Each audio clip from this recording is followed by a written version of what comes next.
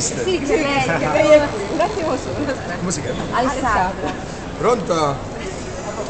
Sono il sindaco. Salve, se il popolo lo vuole ovviamente. Esatto.